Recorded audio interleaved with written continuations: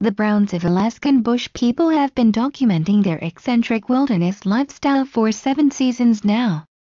However, fans have started questioning how honest the family is with depicting their lives.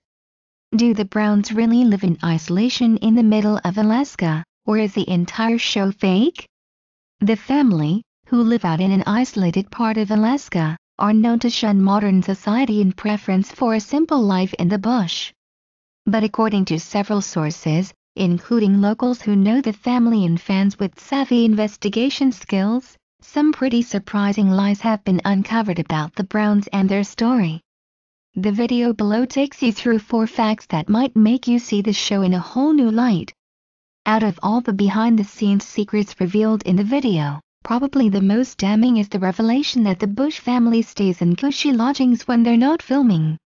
According to Radar, Locals in Hoonah, Alaska have spotted the family at Icy Strait Lodge. The family is so comfortable there, oldest son Matt Brown is often seen hanging out at the lodgings bar. Matt is very good with the ladies, charming and funny. A natural flirt, a source told Radar.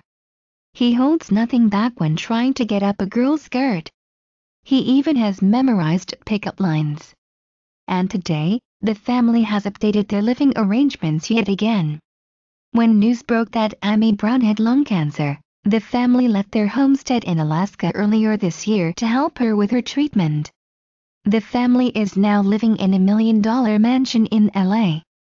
Most of the Brown family have also started being active on social media since they're no longer in the bush. In fact, Gabe Brown recently said he wants to quit social media. Sounds like they're becoming modern people already.